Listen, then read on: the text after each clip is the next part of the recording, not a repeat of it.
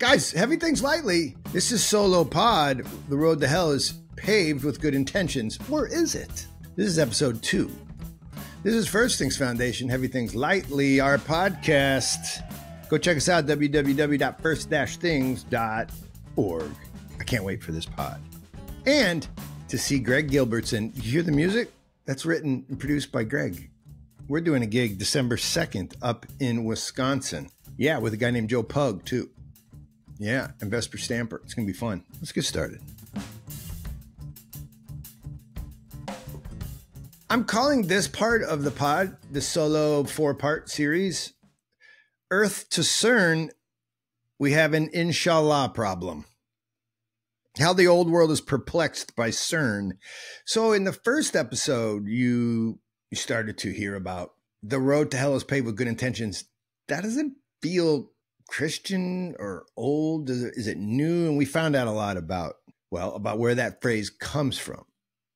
It's a very uh, it's a very 16th century thing. You don't see it before that. We also talked about Physics Girl. We're gonna we're gonna meet Physics Girl right now. She's a she's a popular YouTuber who does cool physics stuff around the world and also has like millions of followers. Physics Girl, let's just introduce you to Physics Girl. There's a reason that we're watching Physics Girl because she's going on a pilgrimage to one of the holy sites of modern life. So here's Physics Girl. Uh, we'll just let her tell you about what she's doing. There's a warehouse in France, right on the Swiss Yeah, border, physics where the girl. most expensive material in the world is Yeah, buddy. created. So Wikipedia seems confident, but I'm not so sure we can even call it material because it's not Hmm. made of regular matter. This stuff is the rarest and potentially the most dangerous on Earth. And scientists from around the world are just trying to figure out how to put it in a bottle and carry it across the street. Antimatter. But what is antimatter and why is there so little of it? It's the rarest substance on Earth. It's the rarest substance in the universe. But scientists theorize that the Big Bang should have created a universe with equal amounts of matter and antimatter. And yet we look around and see almost completely matter. Why? That is surprisingly one of the biggest unanswered questions in physics. They're going to dive into it. You know how she's going to do it? She's going to dive into this question about matter, of course, by going on a pilgrimage to CERN. Now, you might hear some dripping sarcasm in my voice. Uh, it's possible, whatever. But the largest history experiment in the history of creation and all of humanity times 400,000 plus 6 times 45,000 divided by 11 multiplied by invisibility times the root of infinity. This is CERN in her world. It's like, Ma. You can go watch the video. We're linking it. Why am I making fun of it? Because the notion that she's not on pilgrimage is psychopathic. If you're like, I don't really think she's on pilgrimage, then you don't know what pilgrimage is, or you're psychopathic. Right? You can feel it in every move, every turn, every corner. Right? And here's what's going to happen. As we go through this, these these four episodes, you're going to see that it's something like seven towers of Babel, plus an Egyptian pyramid and six hanging gardens, but 270 trillion times better. And also about 300 million times more expensive. That's what CERN, the Conseil, the Council for the Research of Nuclear Stuff. Why does CERN exist? Was the question we asked last pod. And also, like, what are they doing? And like, what's the telos? What's the intention? And I'm using her pilgrimage to try to understand our pilgrimage about this phrase the road to hell is paved with good intentions, right? Somehow they're connected. Last time we got introduced, today we'll go a little deeper. So we'll look at the aphorism and we'll look at see what the old world might make of this aphorism, okay? And we'll try to do this in the context of Physics Girl.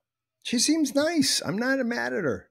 Last time we found out that this proverb, the road to hell is not is, is paved with good intentions. That's not in the Bible. It's really not in the Quran either. It's not Ve- some Vedic writing from some old ass Hindu text. It's not really a thing before the 1500s when we see people like William Tyndale and John Foxe, right? These Christian reformers par excellence, they use it in their writing. Again, check out the last episode. All right.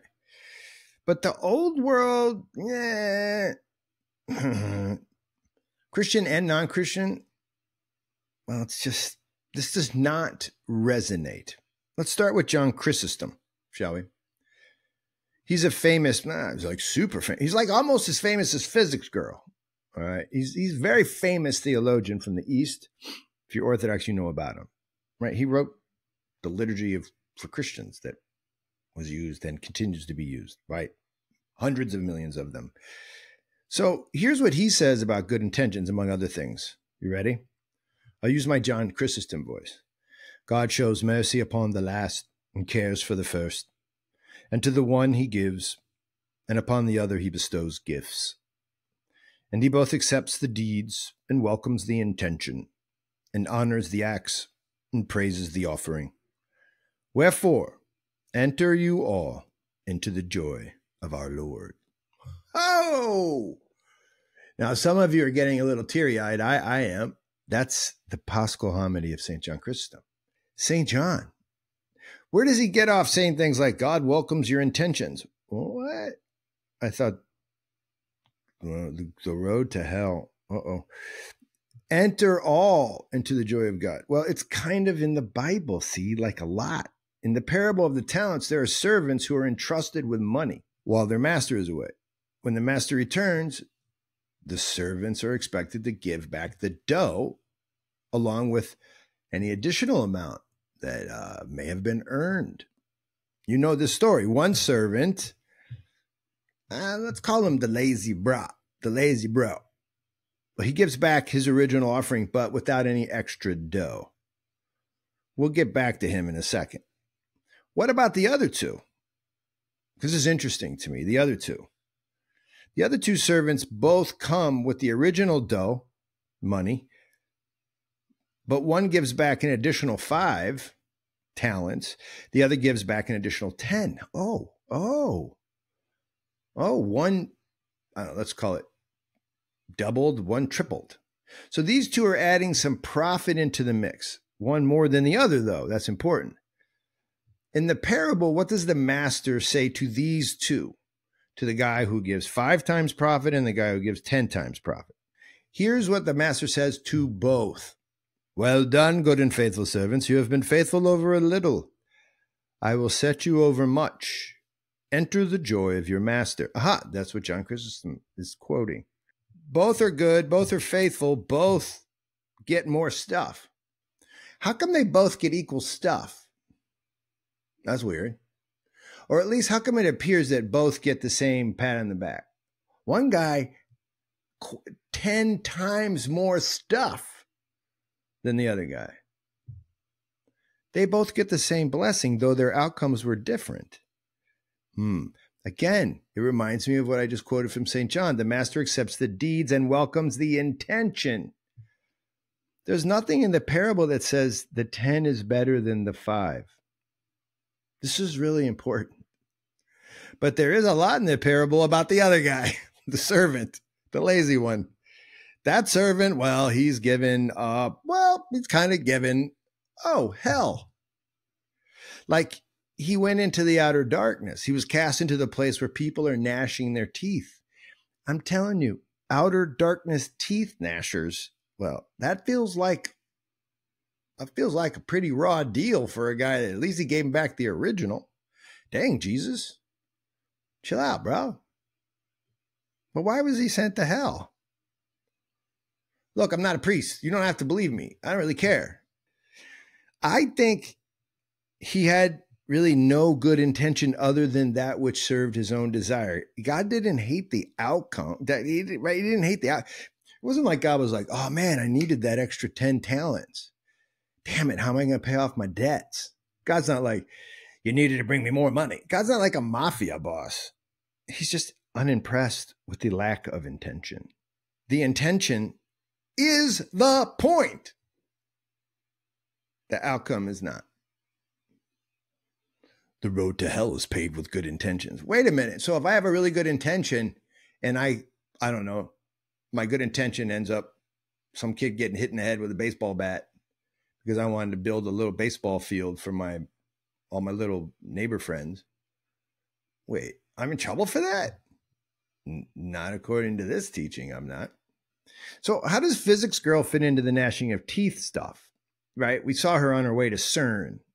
We're going to get there. We're going to get there. But first, let's just do a little bit more from the old world. I just want to I want to give you some more and then we'll be done. Okay? It's something like the intentions should be God's intentions. You see this? Let's just take a look at Islam. In Islam, an old world faith, well, it's one of the newest old world faiths. What do you see? You see this thing, this inshallah problem. Here's what I mean. Inshallah means if God wills it. And if you've been around old world Muslims, they say this all the time. I mean, like all the time. Like, your baby's dying, inshallah. Wife runs off with another guy, eh, inshallah. The Mets, they might win the East, inshallah. It's a lot. And when you hear it, it can mean, well, for less than pious Muslims, it can mean nothing to see here, just adding some sounds. I'm not even thinking about it. But often, especially in more traditional societies, it actually is an answer to the problem. Like, like really, it's the point. Right? Here's an explanation from an actual old world Muslim professor in Islamic studies. He says, We say inshallah because Allah commanded Prophet Muhammad to say, and never say anything like, Indeed, I will do that tomorrow. Never say anything like, Indeed, I will do that tomorrow, unless you add, If God wills it. If God wills it. And you can say, I'll try to do that tomorrow. Eh, it's not on us. God will do as he sees fit, according to his divine providence and his love for us. How about that? That's from the professor. In this particular tradition, your intention is played down because your intention is less important than God's will. You don't matter so much. God sort of allows it or he doesn't. The key is that you are not in charge. Now, I'm not saying you got to agree with this. This is a Muslim episte, a way of knowing, right? You should intend to remember that the intention should be to remember that you are not in charge. That's sort of old world Islam. The intention of the old world was something like making God's intention your own. What about pagans, though? What about like Romans and Greeks? Well, first and foremost, these supposedly rational people. I mean, look, I get it. Our American, our American story is that we picked up on these very rational Greeks and, and Romans. Uh, uh, let's just say the Greeks and Romans both loved them some auguries. Do you know this term? Soothsaying. Um, diviners. Rome had official diviners, like a committee, in fact. They were called the Collegium of Haruspices.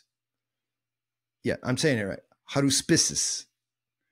The, the, this collegium was their duty was to observe signs such as the flight of birds and then interpret them. A, fl- a flight of birds went one way. Well, that was a series of unusual events, such as the birth of a two headed calf. Oh, the birds are flying this way, two headed calf. Oh, we got Ooh, we're being told a lot right here. Pay attention, right? On the Capitoline Hill, the eating habits of a group of sacred chickens, well, they were open to interpretation by the diviners. If they refused to eat at all, the chickens, that is, that meant an ill omened day. Roman armies, this is true, went on campaigns and took sacred chickens with them. And they would watch how they ate so they knew when to attack. I know. It seems like I'm making this up. And I'm making this up. Good intentions pave the way to hell. But wait, it doesn't seem like the intentions matter much at all. It seems like the good intentions were second fiddle to reading chicken habits. Right? There wasn't a morality so much in your good or bad intentions. What about the Greeks? Well, they was triple crazy about augury. Right. The Greek species did all kinds of entrail readings. They loved them some entrails, and they loved reading the liver of all types of mammals. At the Oracle of Zeus, if a person wanted to consult the gods, they wrote a question on a tablet and they gave it to the oracle, the priests of the oracle, and those priests would ask the question out loud while reading the rustle of oak leaves belonging to a nearby sacred tree.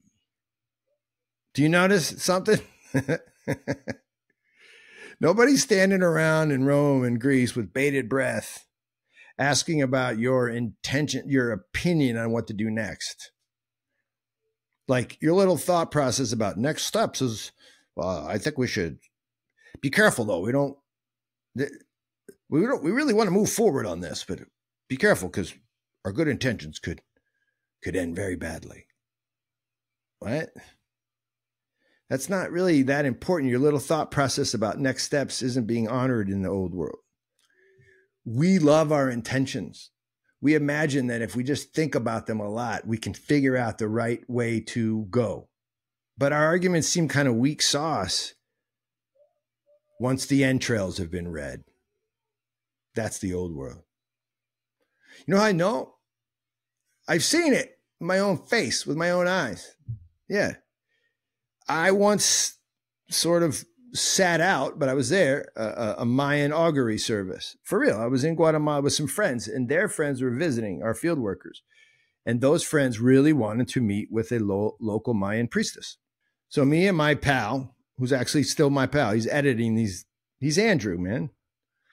Well, we were a little nervous about these guests and about their Mayan priestess party. And so we were like, their hosts, though, so we didn't want to just like, I'm out. So we sort of told the priestess, uh, we're going to go over here a little bit. And then these guests went all in on the on the service. The priestess was cool. She's like, yeah, I don't know why you'd be involved with this. It's fine. Right? Now, what we learned is she was using the concept of possession. So she asked our guests for a bunch of stuff, like their shoes, um, a Coke bottle that they were drinking from, or maybe an old ring, right? And our guests brought those things with them. And then that with some other things, the priestess put into a pile and, and arranged these things very particularly. And then she began to prepare a fire, and thou, those things were being burnt. Right? And so they put a beer can in there, I forget it, and they put all the shoes and they rolled up notes to their loved ones and they stuffed it all in this pile and then it got burned. And then it was really interesting watching she was singing chants over the, the burning fire and prayers and you know, whatever. Well, that's what she was doing. Singing and praying and and Andrew and I are like backing off a little bit more. I just didn't want to get I, I'm not about that, man. I don't even go to like I don't even go to Protestant churches. Like I'm not gonna go hang out in there. I love you, Protestant people that are my friends. I have a lot of them. I'm just not gonna be like, kumbaya, we're all together. Believe me, we can all be together. But how about over at this table over here? I am just like that. So backing away though, I could watch, and it was very interesting because once the fire had gone out, the items that had been possessed by the people who gave them, right? They were being read by the priestess. They were being sort of understood according to the nature of fire that had been laid to them. The possessed spirit of the person who had given them was now being understood in light of the fire that was, and this is a cool idea or not cool, the fire was exposing spiritual truths about these items. Mm-hmm it was very similar activity in, in Mali when I lived there. And all of our guys see this stuff. There was a guy that would read the footprints of cockroaches. I know. It's true, though. You're like, does this guy believe that you could read the cockroach footprints and come to conclusions? This guy believes you could do that, yes. But what are they true conclusions, buddy? What are you doing here? I'm saying they have something to do with reality that I don't fully understand. And on that account, with the cockroach footprint reading, I'm out. Could be good though. I don't know. Feels not good, but could be. So I think what I want to do here before we end is there's an underlying assumption among most ancient cultures, old world, that the forces governing events around us are not whimsical. They're not just riven with random chance. ding, ding, ding, I won. Right? It's not a lottery. Uh, it's well, those are rigged anyway. But you get my point. It's not random. There's an assumption in the old world that the spirits governing reality are expressing a plan, a law, a law of the universe, let's say and that that plan has a root in a transcendent divinity of some sort. That is definitely a type of Christian cosmology as well. Now, it's just a matter of which spirits are at play and which plan they have. And I'm not going to sit here and try to tell you which spirits. I don't know. But I am a believer in Orthodox Christianity. So I'm sticking with those. But anyway, that's why in the old world, discerning is the key. Yeah, your intentions matter a lot. A lot, a lot. Here's a really, really fun, heavy things lightly pod fact. I just made that term up. Pod fact. The pagans, uh, watch this. Sorry, I mean the deists. The deists of the Enlightenment. Here, Tom Jefferson, here, if you'd like, Benjamin Franklin. They had a similar understanding of the world around them. They believed that there were underlying laws that governed all the events around us. Those laws were to be augured. They were, just like the laws of religious dummies before them. The difference was, ready? The method of auguring was, quote, scientific. That's not really the best word. Here's the best word it was rational. Math. The method was not burning a bunch of shoes or looking for cockroach footprints. The method was math, it was reason, it was, right? Science. And little news flash that excludes prayer. You don't get to do that one thing, augur all the good things with science, and also be like, and I do a little prayer on the side.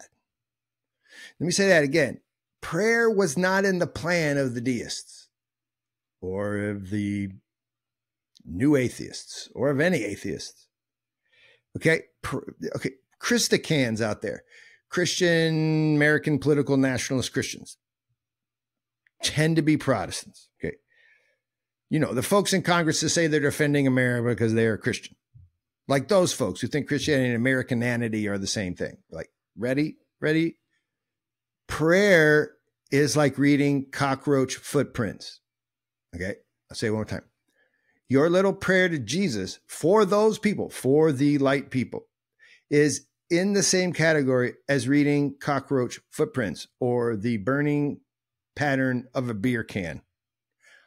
For those people, your prayer is re you know, talking to God, prayer, talking to God, relating, communing, say, let's say even at a cup filled with like, let's say his body and blood for the deists and the atheists and modern society, that's pretty much the same as reading a large heifer's large intestine.